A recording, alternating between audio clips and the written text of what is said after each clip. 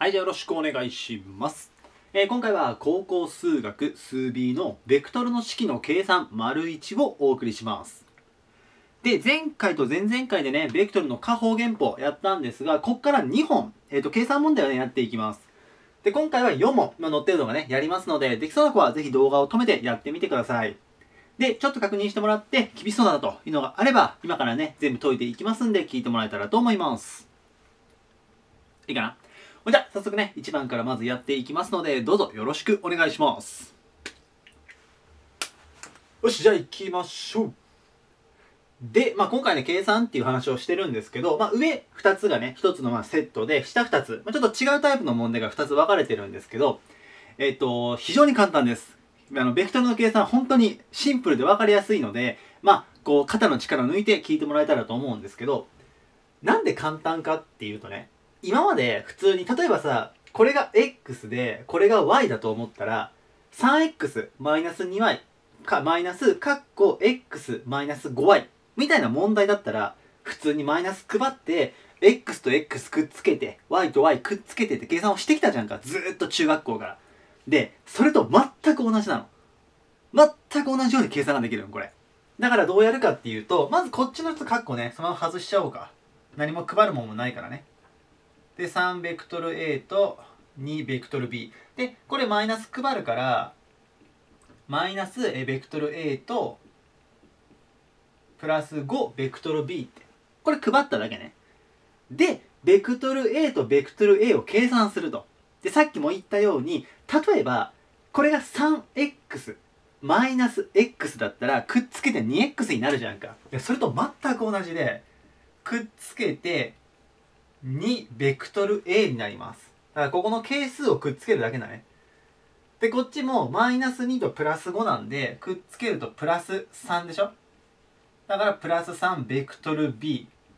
で、これで終了という。非常にやりやすい。いいかな？ちなみに、えっと、ベクトル A とベクトル B はくっつけることができないので、これで終わりという感じでね、止めてください。で、あっちも同じようにやっていくと、まずマイナス5配ると、マイナス10ベクトル A プラス5ベクトル B と。でこっちもプラス3配るだけなんでプラス3ベクトル A マイナス6ベクトル B と。でベクトル A 同士をくっつければいいからこことここくっつけてマイナス7ベクトル A くっつけてマイナス1なんだけど1書かないからマイナスベクトル B でこれで終了となります。で、別にここまで覚えなくていいんですけど、一応なんでね、こうやってくっつけることができるかっていうと、結局、ベクトルっていうのは、位置は関係なくて、向きと大きさじゃんか、ベクトルっていうのは。だから、もし、どこにしよっかな。右側、ちょっと空いてるから、こう行こうか。短くてごめんね。これ、ベクトル A だとします。で、ここ、えっと、2ベクトル A だと思って、書こうと思ったら、これを2倍すればいいじゃん。長さを。だから、ちょっとか、傾き合わせたいんだけど、まあ、このぐらいかな。向きが同じで、長さが2倍。これは2ベクトル A なんだけど、ベクトル A と2ベクトル A を足すとしたら、ま、さっき3ベクトル A になると言ったけどさ、足すっていうのは、向きが同じ、位置は関係ないから、例えばこのベクトル A を、ここにくっつけてあげてもいいわけだよ。位置を変えて。で、そしたら当然、足した時にスタートとゴール、こう伸びるから、2つと1つで3つ分になるでしょあ、入ってない。ごめん。気づかなかった。ごめんごめん。ちょっともう一回戻るね。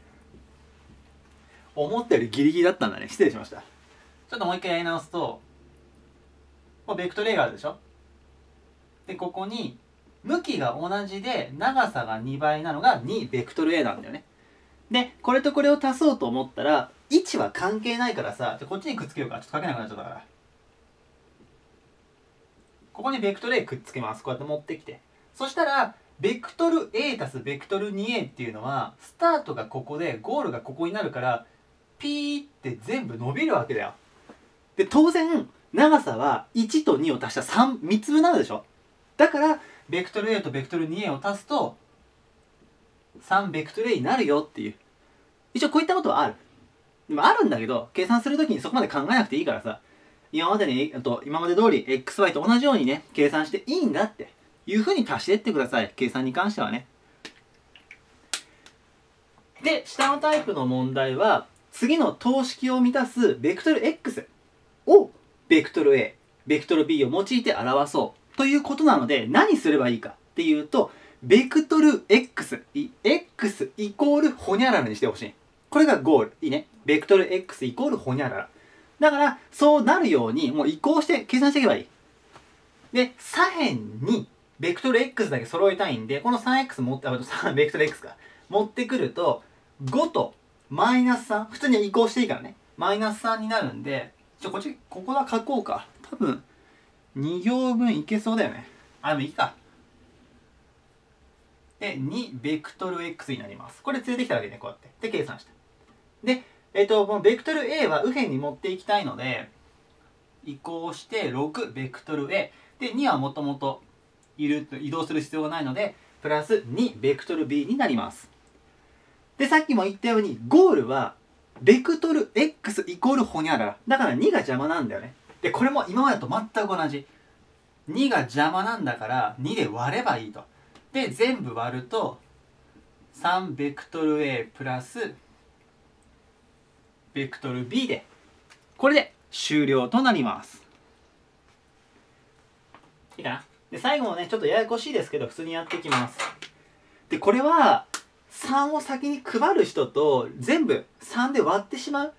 タイプちょっと分かれると思うんですけどこれね実際3で割った方が多分簡単です。きっと。きっとそうなんだけど多分3配っちゃおうっていう風に思う人の方が多いと思うのでだからそっちでやりますね今回ね。で3配っていくとロン、ロン じゃない、6だね。6ベクトル A、マイナス3ベクトル B のプラス3ベクトル X で、そのまま書きましょう。こうと。で、X はここにしかいないので、この2つを右辺に持っていきます。そうすると、3ベクトル X で持ってくる。で、計算すると、3ベクトル A か9マイナス6だもんね。でプラス1プラス3になるからこれでプラス 4b ベクトルになりますで全部両辺ね3で割ればいいので割るとベクトル x イコールこれ3で割れば1なんでベクトル a ここ割り切れないからもう分数使って OK です3分の4ベクトル b とこれ下入ったかな？あ入ってない ごめんね今回ちょっと申し訳ない。引っ越してからね、ちょっとね、使える板書の場所が変わってしまったので、いつもの感覚でやると入らねえのか。ちょっとこっち詰めようか。ベクトル A プラス3分の4ベクトル B どうだ？ギリだ。よいしょ。多分この線が若干入んないかもだけど。まあこれで答えの場所は分かりそうだね。といった感じでぜひね、やってみてください。まあ最初にもね、言いましたけど、計算に関しては今までの X とか Y とかと同じように計算ができますので、まあそんなにこう肩の力ね、あの入れずにやってもらえたらと思います。では、今回は高校数学数 B のベクトルの式の計算丸1をお送りしました。えー、今回もね、ここまで見ていただいて本当にありがとうございました。で、次回もう一本計算があって、えっと、ちょっと連立っぽい問題をね、えっと、2問やっていきますんで、もしよかったらそっちの方も見てみてください。ほんじゃ、今回はこれで終わります。以上です。ありがとうございました。